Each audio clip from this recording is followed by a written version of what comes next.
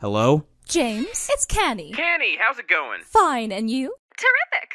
Just calling to see how my surprise party is going. Canni, for the last time, it's not a surprise party if you plan it out yourself.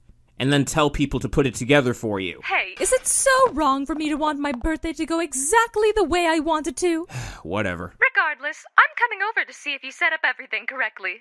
Wait, you're coming over right now? Indeed, I am. Why? Is something wrong? Oh no, no, no nothing's nothing's wrong. It's just uh well, uh James, you sound nervous. What's going on? Um. Let me guess. You put up the wrong colored streamers, didn't you? Uh, y- yeah, yeah, wrong, wrong color streamers. You said to get blue, I accidentally got red. Oh, for Celestia's sake. You had one job, James. Well, if I'm rounding up, you had 30, but Blue Streamers was one of them. I better come over to make sure you didn't mess anything else up. Wait, no, you can't come over yet. Too late, I'm already here. No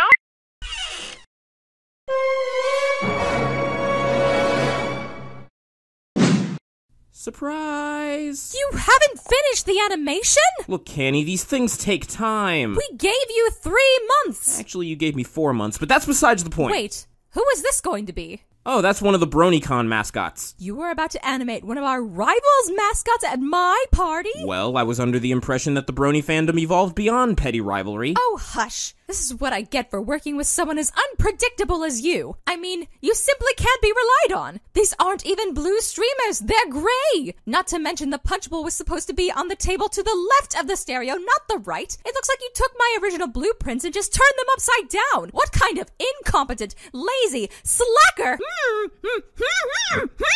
Oh, look, I guess I didn't finish your lip syncing either. Man, there's a lot I haven't finished. In fact, I haven't even finished animating me yet.